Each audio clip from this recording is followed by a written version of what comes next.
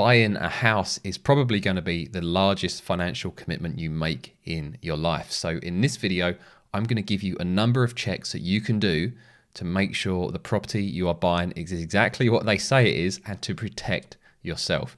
Buying a property is a minefield. And yes, we do have solicitors to provide some protection However, they don't cover a number of the things I'm going to look at in this video.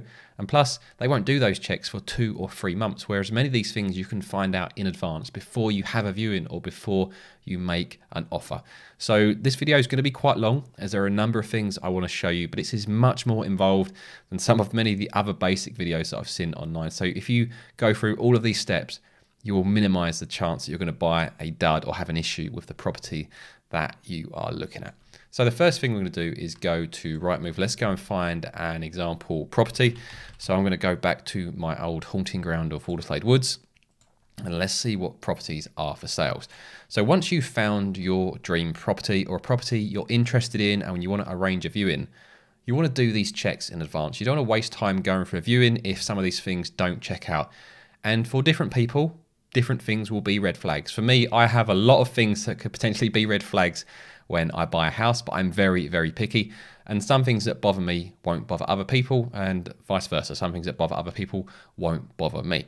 So let's imagine you found a property. The first thing we need to do is to find out the postcode and the council or borough that is under so we can do some of the searches and lookups that I want to do in this video. So let's click on to the map and just go and find a property to look up so I can show you how I would go about finding the postcode and the council. So if we click on one of these red dots and then click on the see full property details button there, this will bring up the listing.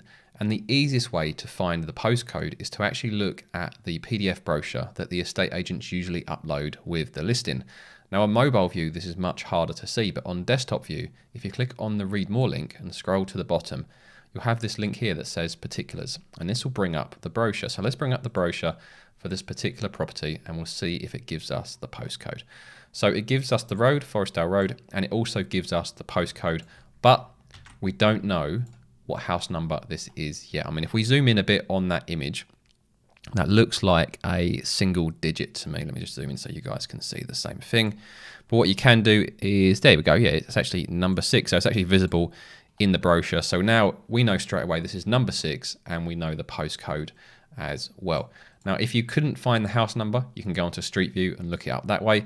And if you can't find the postcode, what you can do is go to Google and we already know the name of the road. That should be obvious for any of the properties that you're looking at. And often you'll know the first half of the postcode as that is usually listed at the top of the listing. So we know it's ME5. So if we put ME5 in with Forestdale Road, we should get the rest of the postcode. Now on some roads, the second half of the postcode will vary. This will give you probably enough information to do many of the checks that you want to do that I'm going to show you in this video. So if we go back to Google, let's just pop in this information quickly. And I like to pop in the first half of the postcode plus the name of the road. And I put that in speech marks so that it is a exact search. And then if we scroll down, we should see the second half of it. So third link down, ME5 9NB, which matches up exactly with what we saw in the PDF. So we know the postcode is ME59NB, and we know it's house number six. The next thing we need to do is just look up the council because once we know the council, there are lots of other checks we can do using this information. So when you do the search, you'll probably see two councils listed. You'll have the basically the bigger council, which is Kent County Council, and then Maidstone, which is part of Kent. And you're looking for the one that has housing listed. So we know this property falls under Maidstone Council, which is going to be really helpful as we go through these checks. So the first one, this is probably the first check I do on all of the properties I look at, and this is to check for planning permission around the area. Now, your solicitor will do this further down the line, but would you rather find out in two, three months' time when you've already spent out on doing surveys and maybe paying for a mortgage application and maybe paying even non refundable deposits to your solicitors? Or do you want to do these searches in advance? So if this has uh, planning permission maybe next door that you're not happy with or behind the property you're not happy with, you can just forget this property and move on. So the easiest way to find this is just go to Google, search the name of the council you're looking at. So I just searched Maidstone planning applications or Maidstone planning searches, and then it will bring you to a site like this. And pretty much every council in the country will have some sort of search feature like this. And we already know the information. So I'm just going to pop in the postcode again. And we can see all of the planning permission that is currently going on in that postcode area. Now, depending on which council you're with, there are additional features as well, and I'm going to show you one of them now. So this is sorted in date order, so we can see all of the recent planning applications that have gone in. So if you know your number six, you might be looking to see what's going on at maybe number eight or maybe number 10 to see if they've done anything that might be causing a problem or maybe something they've applied for that hasn't actually been built yet that could potentially cause a problem. And you can also do a planning history search on the property that you're looking at as well. So this is really, really helpful. The other thing you can do as well, if you can't find the exact property you're looking for, there on some of these sites you can also see a map. So if I just click on one of these, I'm not really fussed about the planning permission for this individual property that I've clicked on. But if I click on the map tab here, what it should do if we change some of the filters is actually allow us to see other planning permissions around that. So it makes it much easier for us to visualize which properties around it have got planning issues going on. So if we go to the filters, at the moment, this is only showing planning from the last six months. So let's put this back to maybe the last two years. You could even go to five years. I wouldn't do all time because all time just floods it with red lines. So now we can see all of the planning that is going on. Now, the property we were looking at to start with was actually near the top of the road here. So you might want to click on some of these and see what is going on will this impact anything? I think the one that I was actually looking at down here was for a single uh, garage conversion, I think it was. There we go. Uh, conversion of the garage into a habitable living space. And keep that in mind because I want to show you how that comes into play. And so another check that I'm going to show you later on in this video.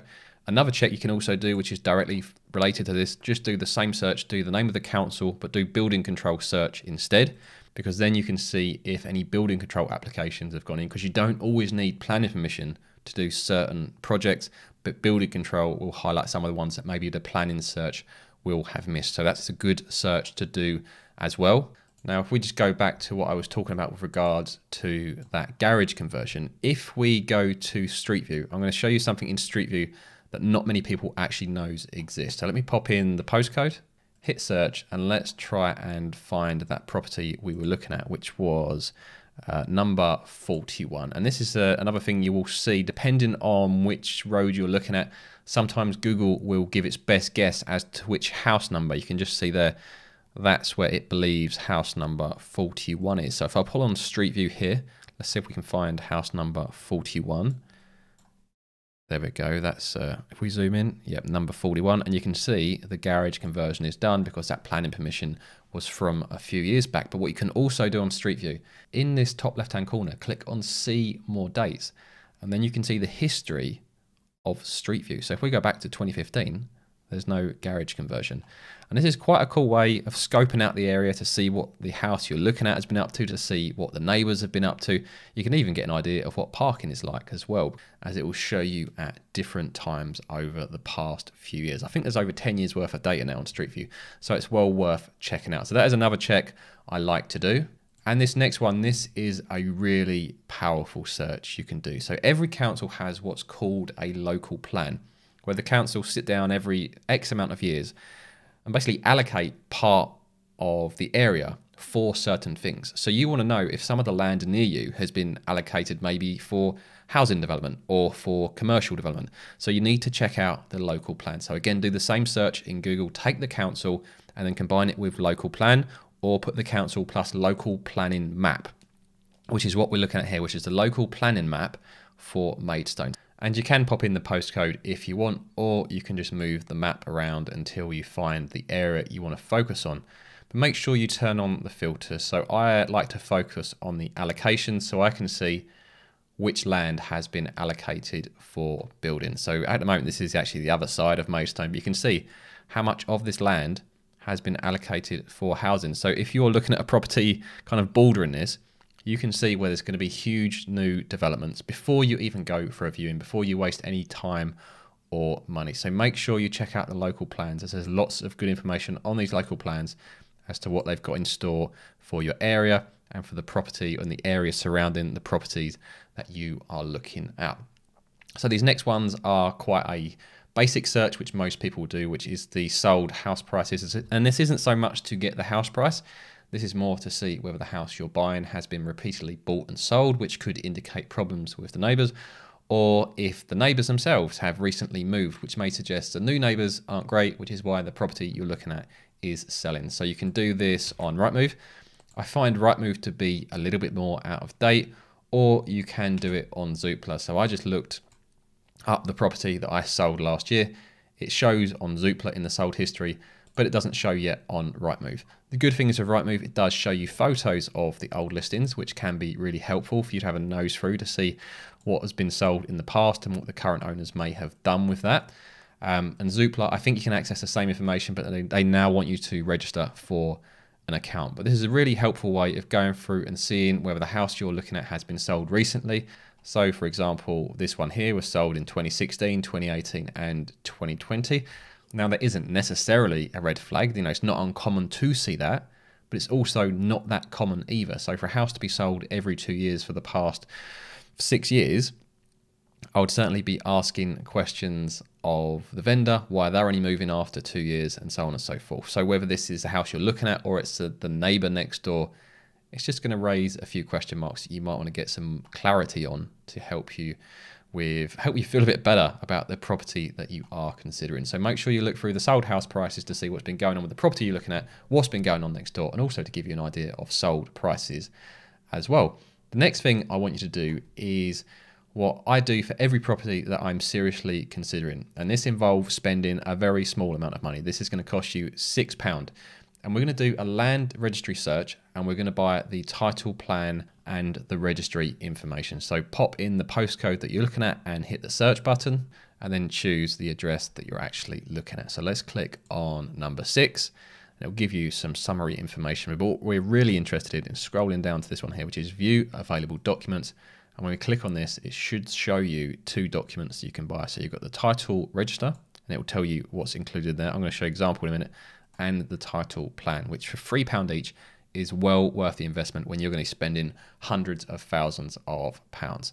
So this one here, this is the overview. This shows you the border of the property, which is extremely helpful to see what you're actually buying. So this is outlined in red, and it also shows you the border of the other property. So I really like buying it for that reason. And this one here, this shows you a number of other pieces of information, including the current owner, also whether there is a mortgage assigned against the property at the moment that needs to be paid off when it's sold. And it also has any restrictive covenants as well that you can go through. So you can find out all of this information early on before you get much further down the line. This is why I like going through this. I know it costs a little bit of money and it does take some time, but it is well worth doing.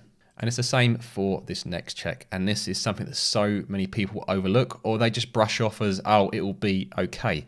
And generally, if you're buying in an urban area, it's not really going to be an issue. But if you're buying in the country, which I was doing last year, this is a major problem. If the property you're buying doesn't have decent broadband, it is a huge issue for many, many people. So you need to know this in advance. So I use the Ofcom checker. You can check both broadband and mobile coverage here.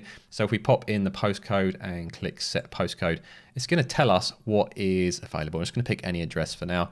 So the one you want to focus on usually is the superfast one in the middle. If you don't have superfast as a minimum, you're going to struggle with standard as that is very slow and old.